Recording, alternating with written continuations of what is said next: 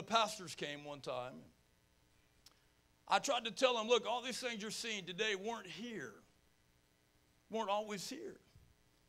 You think they were always here because you see them here now. But they weren't always here. There was, a, there was contention that tried to keep them out. There was devils that tried to stop the orphanage, tried to stop the school, tried to stop the church. Are you listening to me? And somebody had to be bold in their God to preach the gospel of God during times of much contention. And the cool thing about it was, you know, that there's people that, that God pulled around Apostle Arturo and myself that supported us, prayed for us. Amen. Served us, gave us food. Amen. Made sure we had, you know, just the little things taken care of. Maybe I had some water. Yeah, amen. Maybe help transport us from one place to the next. That's called raw apostolic frontier work. And I tried to tell this man, this stuff wasn't always here. That in order to get the manifestation of these things of God that God had put inside of a man, they had to be birthed. They had to come forth. In other words, you have to speak it first. You have to decree it, and then it comes about. There's there is, you know, in the beginning was the Word. The Word was with God. The Word was God. So what happens is when God puts it in your heart, nobody else knows that. But if you want it to come alive, you have to speak it. Yeah, you have to speak it.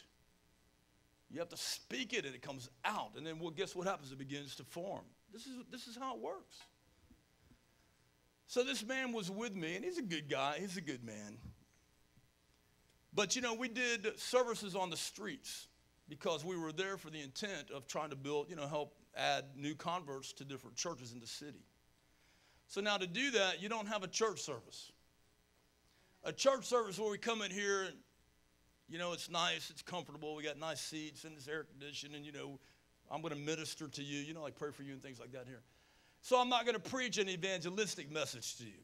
I'm not going to punch devils like I would on the streets. Because when I get on the streets, that thing that attacks me spiritually, I have to hit that back and bolt or it won't move. It'll put people to sleep. They'll, be, they'll be there and they'll be sleeping or they'll be distracted. So, in order for me to do what God's called to do, I have to, I have to really punch that thing and make it move back. Not me, but the gift in me that does it, right? Because it comes alive when the opposition hits. So I said, look, we're going to go out and we're going to go hit these different places. Now, when we do, when we do, that enemy is going to attack. But it doesn't matter. Preach bold, preach strong. Be direct. Don't patty cake the people. Don't try to be nice to people. Be nice to God. Say what God once said. I'm not talking about being mean. I'm not talking about being mean because remember, people can't come out of what they can't see. But you can see it. So you have to hit it so it makes it move away from them. So that they can hear what the Spirit of God is saying to them and then they'll respond. Does that make sense?